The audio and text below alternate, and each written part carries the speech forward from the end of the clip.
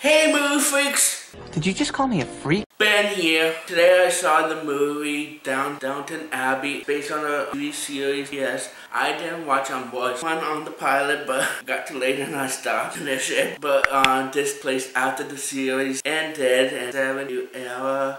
Don't worry, if you go to see this movie, they will recap the whole series with two other characters narrating what happened. Really um, great movie, but really they could have made it to a um, movie of a all the cast, some of the cast twice the Wolf show, and they're getting ready because King and Queen are coming. Really, and getting ready because they were showing the Queen, but they realized servants are not serving the King and Queen during the Orlando. Great movie movie and I learned about um LG they could get arrested. Saw the show, you know, God, uh, it was a. Great movie, great um costume design, set piece, um a great movie. If you're a fan of the show, fan of the saw the TV show, a lot of old kind of confused who's related, who's not related. Um eras or good um, movie. Confusing, which a great, um, great storyline. Part one, part time, long movie. Started and that. That's my movie of what our five. Alpha sub, subscribe, come move free. Grandfather, please. That's my move. Like it up. Bye.